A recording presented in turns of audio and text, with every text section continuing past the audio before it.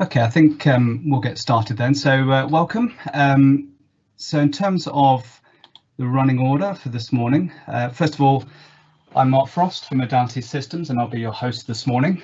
I'll be doing a quick overview of modality and setting the scene for today.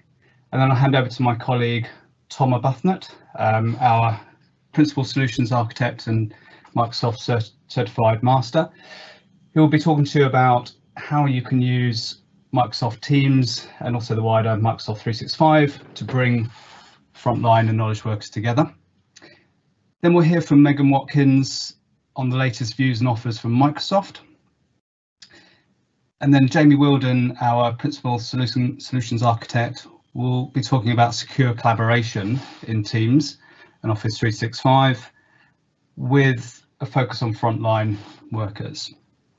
And then we'll have some time at the end for questions and answers if you have any. But feel free to post questions in the uh, in the window, chat window, um, and we'll pick those up at the end. Okay, so in terms of an introduction to modality, for those of you who don't know us, we've been around for about 14 years. Um, we're known as a Microsoft UC specialist and have been helping customers on that journey through uh, LCS, OCS, uh, Lync, Skype for Business, and, and, more recently Teams.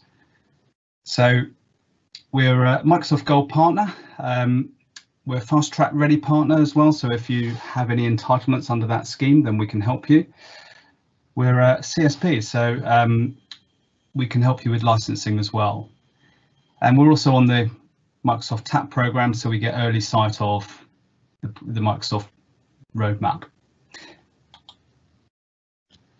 So we're the leading UK partner for Microsoft Partner for Teams, and we've helped over 1 million Teams users get online. Um, and we're very proud of the fact that we're the first partner in the world to attain the three advanced specializations in Teams. So that's adoption and change management, meetings and meeting rooms, and calling. But we're not just about Teams. We offer services in the wider Microsoft 365 and Azure stack. And those services fall into three main categories. That's professional services, where we can help you wherever you are on your journey with strategic planning uh, or actual deployment, design and planning activities, as well as managing an actual deployment for you. And under managed services, we offer a range of different services from support and incident management through service delivery, and also video, contact center, call recording and direct routing managed services. All designed to optimize your Microsoft experience and help you get the most out of your investment. And the third category of services that we offer is around software. So through our own in-house team, we've developed a range of software products including Teamwork Analytics, which is a suite of Teams enhanced reporting uh, products to help you with adoption, governance and performance. We've also developed a range of meeting experience software products to help optimize the Teams meeting experience. And we've also developed a virtual consultation piece of software called One, One Consultation which as you can imagine at the moment is extremely popular during the pandemic. We work very closely with third parties um, to integrate their products into the Microsoft uh, product stack, and some of those are listed there on the right hand side. So enough about us. Let's talk about frontline workers. So the first question is why, why are we talking about frontline workers? Why are they so important? Well, they're they're the guys that are delivering on your business objectives, your business plan. Uh, you you know this already. They're the backbone of your business, and your business really depends on their success. In a recent Forrester report, it was discovered that in reality, less than 25% of frontline workers actually have the right tools to do their job. They also discovered that 60% actually find it really difficult to work with the rest of the business and 50% don't have access to the right information they need to do their job either. All of this basically leads to the frontline workers feeling disconnected and disengaged from the rest of the business, which is which is not good. And add to that the increased security risk if their devices aren't secured properly, then you have a problem. So at this point, I shall hand over to my colleague Tom, who will tell you more about how you can use Microsoft Teams to bring frontline workers and knowledge workers together. Tom, over to you. Thanks, Mark. I'll request control as well. So Mark's outlined well there why frontline workers are so important to your business. Uh, let's just get down into that a little bit more detail and talk about why you would even want to digitally enable frontline workers. Uh, traditionally, the knowledge workers have been well catered for, and we've we've seen this in the pandemic, like things like SharePoint and everything in the cloud and Teams all work really, really well for knowledge workers at desktops. Uh, we can't see the slides, Mark, thanks. Um, but knowledge workers traditionally less well catered for. Mobile experiences haven't been as good. They've often been neglected. They haven't had the access to the tools. So there's a bit of a divide between the tools and abilities knowledge workers had and what the frontline workers had. Often frontline workers are bringing their own devices. So there's a lot of conversation about security, ISO, GDPR compliance, and Jamie will get into that in more detail in the security section. But it's been a real challenge to deal with bring your own devices. Often um, we hear this time and time again, frontline workers are left to use less secure platforms, less compliant platforms to get their job done. So they'll gravitate to iMessage or WhatsApp or a, a, Facebook or a, anything else they can use to get their job done. And they're not meaning to be non-compliant. They're just trying to get their job done with tools that actually work in a mobile experience. Um, lots of organizations want to bridge the divide as well between their, their back office that have lots of knowledge and lots of tools and their frontline workers who are actually in the field engaging directly with customers often the face of the business, um, but needs to talk to the, the back office or the knowledge workers as well.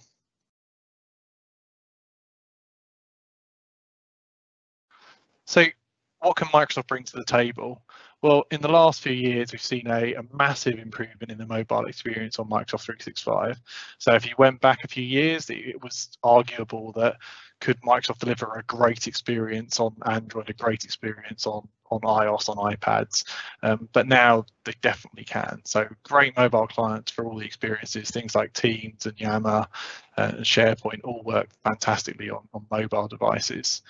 You can increase communication, collaboration and productivity, both between frontline workers and back office or knowledge workers, but also between frontline workers within their organization. So maybe in, in retail, it's different stores communicating more directly, frontline worker to frontline worker. In manufacturing or uh, construction, maybe it's different sites actually being able to talk and have visibility with each other.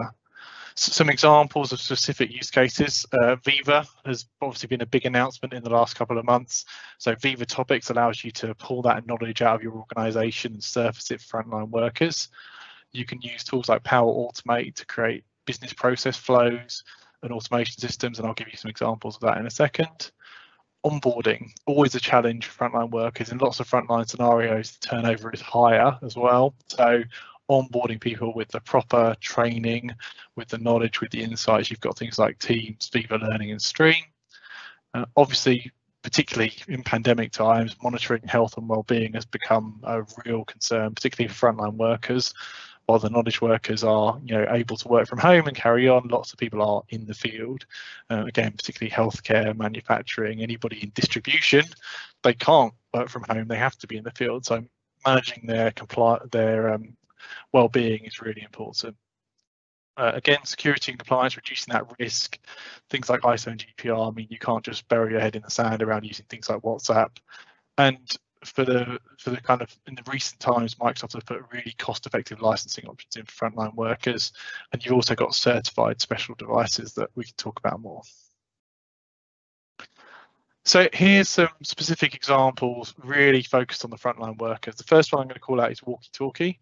So this is a push-to-talk scenario replacing the traditional DECT or RF type walkie-talkie scenario. So uh, front of retail talking to the store, uh, the back office in terms of um, all the warehousing where the stock is, or construction sites talking to each other. The brilliant thing here is this is replacing the walkie-talkie scenario, but doing it over mobile data or Wi-Fi. So you can distribute the push-to-talk scenarios over multiple sites, multiple locations, multiple countries even. It's all data driven.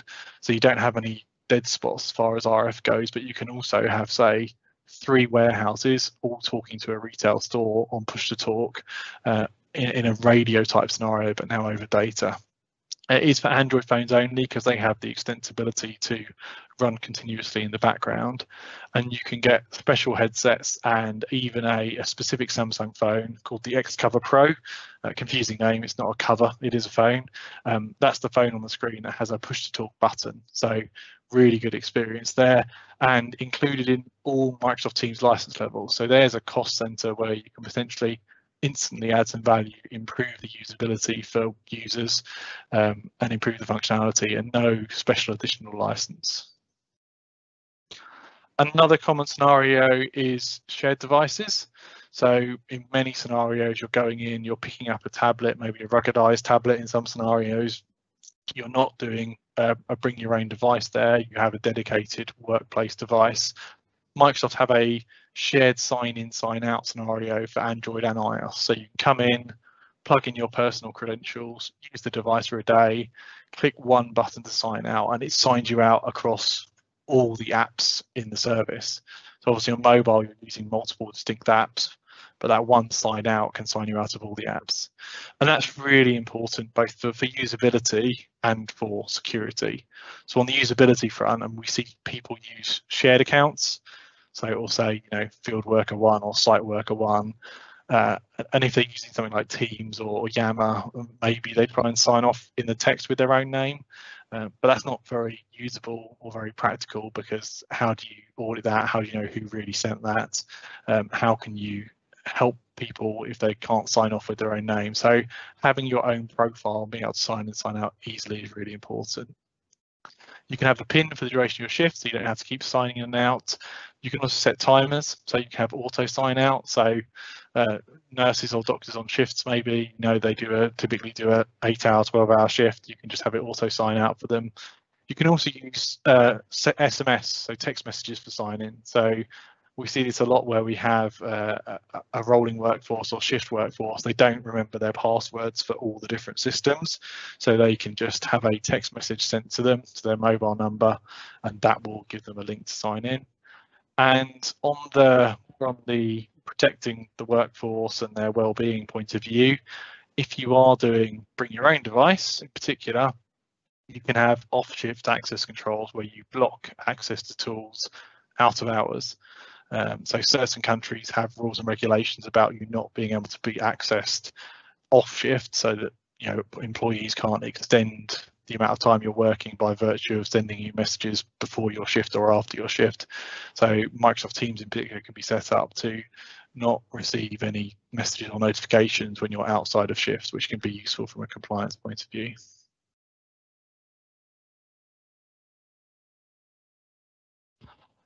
Onto Power Platform, uh, arguably one of the strongest pieces of the M365 puzzle for frontline workers. So for the longest time, frontline workers have had to suffer with you know suboptimal IT experiences because they're doing a process that wasn't the process originally five years ago, but the IT systems were built when that was the way it was done. So big old school SAP ERP type systems workflows that don't meet the modern requirements of the field worker. So with Power Platform, the field worker can become an architect of business systems and perfect for frontline workers. They know what they need to do. They know the form they need to fill in. They know the fields.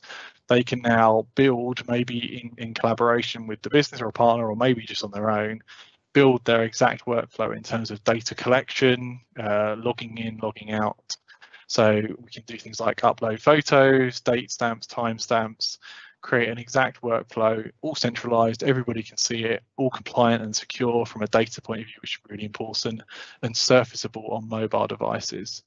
So for example, might be a, a, a store audit where you walk around, you see something that's out of place or incorrect, you can take a photo of that, upload it centrally, the back office can see exactly what's going on, they can quickly give advice if needed, um, but no more of that traditional walking around with paper and pen. Maybe it gets submitted to the system, maybe it doesn't, isn't properly centralized, isn't properly indexed.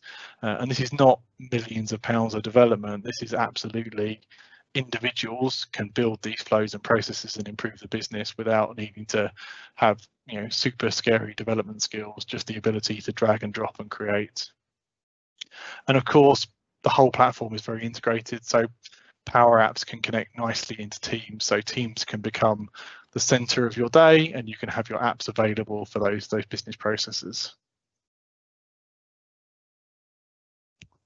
Just jump forward again so that's a, just a little whistle stop tour there of, of some of the features. I wanted to call out particularly features that were knowledge worker focused. I think everybody knows the knowledge worker, but there's so much more there. Uh, and I'm going to hand over to Megan, who's going to go through some offers and, and views from Microsoft on what frontline workers can have and do. Perfect. Thanks, Tom. Thanks. Awesome. So, so I thought that was a great overview of frontline worker strategy. Um, obviously, it's particularly topical at the moment, given everything over the last 12 months, and that critical need to have that communication channel to all parts of the business. We've seen a huge rise in Teams consumption, with daily active users growing 300% and active users on mobiles almost doubled since COVID.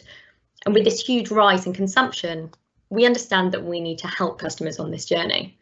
And we've therefore invested a lot to improve not only the experience for users, but also increase that security and compliance for organisations.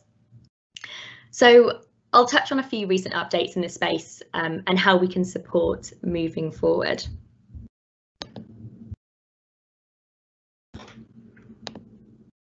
So firstly, just around the new F5 SKU. So on the 1st of Feb, uh, Microsoft launched new security and compliance offers for first line workers that can be purchased as an add-on to the M365 F1 and F3 SKU. After, we, after we've seen a huge rise in cyber attacks, particularly against frontline staff, as these users typically have the lowest levels of security. And on top of this, like Tom touched on, the, the rise in shadow IT as employees have had to quickly pick up new ways to communicate.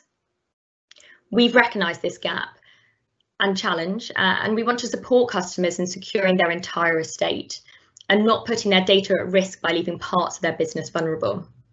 And we've therefore built all of the capability of our security and compliance solution, such as identity and access management, information protection, um, advanced threat protection, into a much cheaper license for that frontline staff. Um, some of those capabilities that you can see on the screen. So secondly, we're aligning much closer to specific industry requirements. You may have seen this in the recent announcements around our industry clouds, but we've also been developing specific frontline worker scenarios and use cases. And we're building content um, and solutions that meet your frontline needs, whether you're in retail, manufacturing, professional services. We want to ensure that we have the capability to improve the productivity and day-to-day -day tasks of your staff regardless of what that industry is. I'd recommend reaching out to your Microsoft account team. They can share these resources and the use cases that are specific to your industry. Thirdly is just really around Viva. Uh, so Tom touched on this as well, but Viva is just going to have a huge impact on both the knowledge and the frontline workers as we begin to tailor content to each persona within your organisation and putting well-being at the center and bringing that learning into the natural flow of work, regardless of what that work is. So Viva Learning can provide that easy access to training content for role-based learning to quickly onboard employees, but then also constantly build their skills with instruction videos, best practice, um, even live instructions, all within Teams. And then secondly, just Viva Connections. So you can deliver that single destination for shifts, news, um, tasks, discussions, and even give the frontline workers connections to resources and company information that's tailored and also personalised. I believe there's an event at the end of April held by Modality. So I think the link to that event will be shared afterwards. Um, but a huge, huge connection between that frontline worker and what Modality, uh, what Viva can bring um, to, to that space. And then I guess finally, just uh, what's next um, and how, how we can kind of support you moving forward and building this out.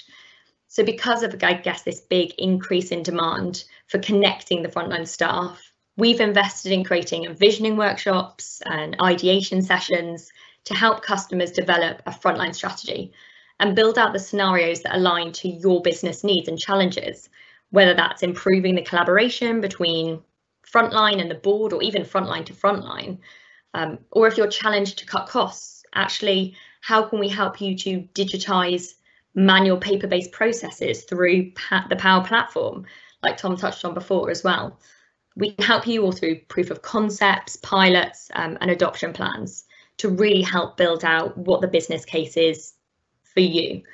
Um, so yeah, I, I just say reach out to your Microsoft account team, understand what offers um, and promotions are available in this space as well. So I'll now hand over to Jamie to talk around secure collaboration. Hi. Um, so um, before we uh, dig into some of the specifics around some of the security tools within the M365 platform um, for, for frontline workers, I wanted to spend a little bit of time talking around some of the uh, some of the specific considerations and and best practice for uh, that are appropriate in this space. So, um, Mark, can you forward on the slides?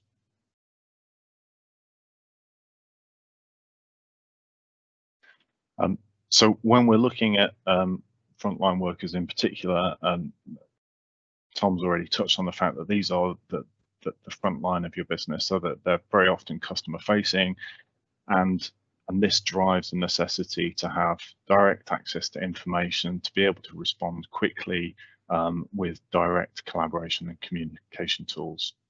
So there's a real challenge here around how do we do this in a in a in a secure way that, um, that maintains the protection that you need around your sensitive data. These frontline workers are very often also working with customer confidential data, and they're working from a variety of different locations, different network types, and using a, a range of different uh, devices. So data loss prevention here, device management is, is a really critical consideration, as is making sure that you're adhering to all of the regulatory compliance that you've got within your various industries, such as GDPR, is, really, really key. So when we're looking at security in the cloud, um, it, it's really important that we understand how that changes from um, from a traditional on-premise environment. What can we advance? So there's a real difference in, in approach when, when we're moving to the cloud.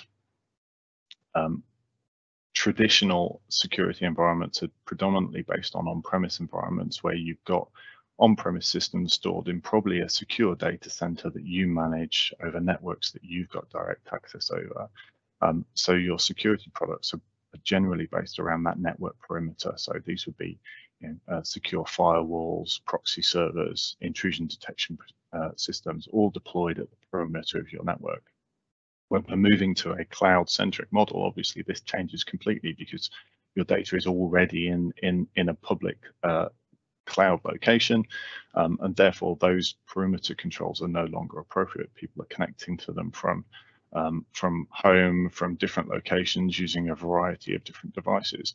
And therefore we need to make sure that we're um, that we're applying um, controls that are appropriate. So there's a number of different uh, ways in which we can do that. Um, the first is making sure that we're applying those controls close to that data. Know, preferably within the cloud platform itself. If we've got our security located within that cloud platform, we can make sure that we're applying that consistently, um, regardless of where different devices are connecting from or which devices people are using. So um, those those controls will be synonymous across all of those different devices and, and connection uh, places. The second important thing that we need to make sure that we're getting right is consolidating our, our identity and our access management strategy. um, wherever possible, we should be really trying to make sure that we've got a single identity platform that we're using to authorize access to that data. Um, if individuals have got lots of different uh, um, accounts and passwords, it's much harder. Um, it's much harder to um, to control that access and make sure that those accounts are, are secure and that they haven't been compromised. So the other and another important consideration that that that we should factor in is this concept of having a zero trust model um, and, and a zero trust mindset. So this is the approach where you, because your data is already in that public domain, it's already being stored in in a public cloud, we've got that mindset where we're already assuming that there is somebody out there trying to get access to that data, trying to compromise our accounts. So this is really important because it changes how we approach security.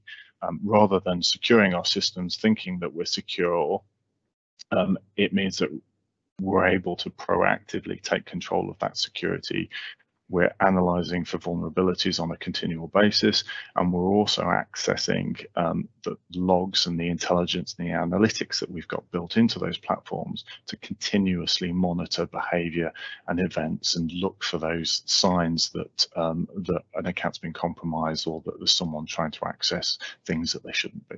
So it's a really, really important mindset change. Um, so it's also really important to make sure that we understand our data, um, not only uh, where that data is stored, but also what type of data it is. So we need to make sure that we're classifying that data as um, as public, internal, confidential, secret, so that we understand what the data is and then can make sure that we're wrapping appropriate controls around it. If you don't know where what data is confidential, then you're not able able to properly protect that. Um, and lastly, um, it's important that we that we've got an understanding of the devices that are accessing the environment. Um, in a cloud world, that can be a range and, and is often a, a, blend of different device types. Tom's already talked about mobile. These can be corporate device. They can also be uh, bring your own devices, um, and personal devices. So in these scenarios, it's really important to make sure that your endpoint management gives you the capability to manage and control that entire range of different device types and, and connection scenarios. Um, so when we're looking at specific Microsoft capabilities that, that deliver this, one of the most powerful tools uh, in, in the suite is Cloud App Security. So Tom's already touched on a little bit of that um, that behavior for frontline workers to to try and use any tool to get the job done. And now was a resort to public tools such as uh, facebook whatsapp um, to communicate. So cloud app security gives you that visibility of what's happening in that space and the range of different applications that that your workers are using. Um, it detects the use of those third-party tools, those public tools, um, and it also gives you the ability to policy that. So you can gain an, an, understanding of what's being used in your environment, which cloud apps users are, are, using, but you can also limit and regulate that use to make sure that data is staying within your control and that people are following the right processes and procedures um, and avoid the risks that are involved in, in, in people using public tools or sharing data outside of those uh, corporate sanctioned applications. Um, so Microsoft Identity Protection and Azure AD is really um, that solution that sits in the middle and allows you to centrally manage identity and authentication. Um, so Azure AD can absolutely become your, your, your single identity platform. Um, identity protection adds on to that capabilities such as obviously multi-factor authentication. That's that's that's a really critical thing that that every organization should make sure it's in place, but also advanced capabilities such as Azure conditional access, which allows you to uh, regulate where and how people are allowed to authenticate and get access to those systems and data. So it, this allows you to look at a whole bunch of different metrics uh, you can prevent access from compromised devices or you can only allow access from corporate devices. You can also track things like impossible travel events where perhaps an account's been used from two different geographies without enough time to travel between them.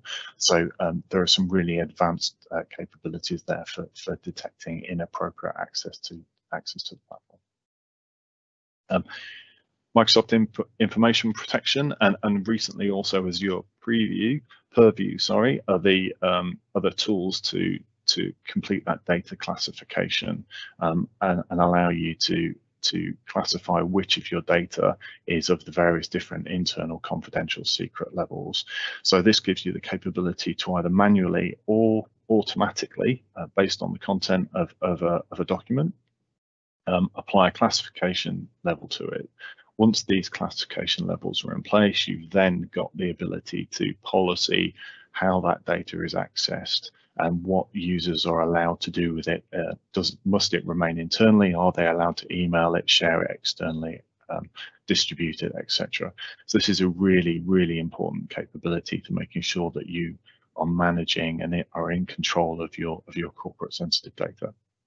Um, Purview um, takes this one step further and allows you to extend this uh, data governance capability out to third-party cloud platforms. So um, things like uh, Amazon Web Services and, and, and the Google Cloud, um, and also your on-premise systems. So you can have a single um, centralized capability for managing and, and, governing your data across all of your different cloud providers and, and internal platforms.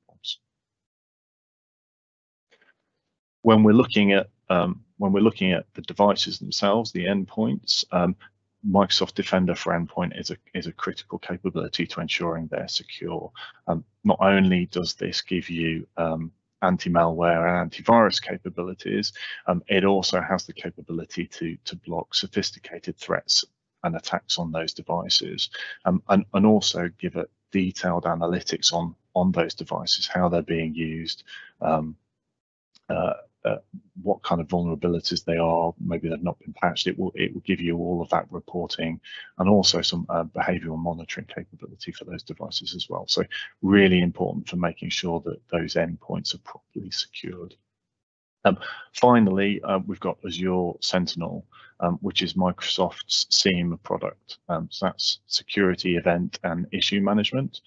So this is a centralized tool for your um, security uh, team it will aggregate all of the various different security logs from, from the Microsoft platform, from your devices, also from your third-party uh, tools and capable and, and internal applications. And it gives you a centralized place where you can analyze that data, um, identify anomalies, uh, flag events, monitor that status, monitor that security, um, and proactively investigate that what's happening in your environment um, and, and hunt for, for issues and problems. It, it also has the capability to automate key security actions and events. So, um, for instance, if if um, an impossible travel event is detected, it can automatically disable those accounts for you and inform one of your security analysts that that has happened. So you've got an incredible amount of configuration there, not only to manage those security, uh, your your platform security, but also to automate that and reduce the effort impacting your um, your your security team. Um, it really is becoming the central um, security management tool um, and single pane of glass for the security within within larger organizations. So definitely worth looking at. Um, so there's a lot of complexity there. There's a lot of different capability within the Microsoft stack for security, um, and that can often be um, a, a, challenge for, for organizations to onboard. So at Modality, we've got a range of different services um, to, to help customers with that. Um, these range from ongoing security analytics services where we'll, where we'll provide customers with information on their environment, what's happening, and give them ongoing advice and best practice on how to maintain security and get the most out of their Microsoft security investments. Um, we'll also offer uh, um, fixed term uh, engagements uh, to deliver a, a, baseline security, get you started and get you working in the right direction with some advice and guidance and best practice to make sure that you're starting your cloud journey from a from a secure position. Um, Also, um, obviously, for larger organisations with more bespoke um, requirements, we, we can engage on a on a on a bespoke per customer basis and tailor uh, our engagement to your to your specific needs. So, um, wealth of different off, offers there and capabilities that that we can that we can bring to bear to support you in that journey. Um, lastly, be, before I sort of wrap up, I just wanted to spend a little bit of time talking about the importance of, of governance within your environment um, as you're adopting these, these new ways of working and, and collaboration, um, especially with tools such as Microsoft Teams. We're seeing a lot of organizations over the last 12 to 18 months with, with, with COVID deploy Microsoft 365 and, and these cloud services very quickly to enable their uh, remote workforce, which has been fantastically successful. Um, but then there's not necessarily put uh, a, a, correct focus on how those platforms are then going to be governed and looked after and how they manage the life cycle um, once that that rollout's been complete. So this can create some real challenges for organizations, especially with tools such as Teams. Um, we've seen that organizations will struggle to get the uh, adoption that they expected, um, maybe because users default to old ways of working or they don't know how to get the most out of the platform or certain teams will will will adopt it heavily while others won't um, so it, it can be a real challenge there. So unless you've got decent understanding of that, it, it, it, can be hard to make sure that your users are getting the most out of these platforms and using them appropriately. Um, that inappropriate use can also lead to stagnation. So you can get into a position where multiple teams have been created, maybe by different users with varying different naming standards, all discussing similar topics. Users don't know which team to use for what conversation, or data gets pushed into a team and then people move on to another project, it gets left behind, it's stale, nobody's managing that, but it's still there in the environment. Um, and you can also have scenarios where perhaps teams are created for, for internal discussions, but then three months later, someone uh, needs to share some uh, information externally and they they add a third party guest to that without realizing that that gives them inappropriate access to the whole team the historical discussions and all of the internal documents as well so unless you've got a good capability to manage that and have a solid governance structure that you can wrap around this to make sure that these fantastically powerful collaboration tools are being used appropriately and correctly managed, this can create some real risks and, and issues for your environment. So within modality, um, we've got a, a, solution to help with this. Um, so uh, Tom mentioned earlier our teamwork analytics capability. Um, this is an internal product that we've developed specifically around helping organizations wrap that governance, lifecycle management and analytics around the uh, around the team story. So four key components for this. Um, the first one is a is a usage and reporting piece where we provide uh, Power BI dashboards. That's the Microsoft Analytics solution all focused around giving you deep insights into how users are using the platform, um, what's working, what isn't working, where where it's being adopted successfully and where it's not. Um, empowering you to target users with, with effective communications to help make sure that they're continuing to use these tools appropriately. Um, there's also a governance capability. That governance capability gives us the, the ability to enforce uh, naming standards, policies around team creations, but also report on when those are no longer being adhered to. So we can report on uh, when external uh, guests are added to teams inappropriately, or when teams no longer have any active owners managing that data, or maybe once um, once a team is no longer being used, it's stale, there's no activity in it. We can report on all of that to give you better management of that of that life cycle uh, and make sure that the platform is being used appropriately. Um, we're also uh, about to launch a, a, performance capability that looks specifically at call quality across the team space. So this will give you uh, a deep dive understanding into the quality of your different uh, of your different calls and video calls and meetings within the environment. Um, it will show you where you're having good quality calls, where those where that quality is starting to dip, and provide you with the information that you need to properly manage that and contact users and and, and resolve those those poor call quality issues. The final piece for this uh, platform is the automation capability. So we've got all of these various different metrics and, and reporting capabilities, but we've also developed uh, our own automation engine where we can create bots um, and events that will trigger um, emails or, or chat messages to be sent to teams to to further drive value, to remind people of the correct policy, uh, or to notify uh, users that they've perhaps broken uh, uh, broken the guidance around how to use the product.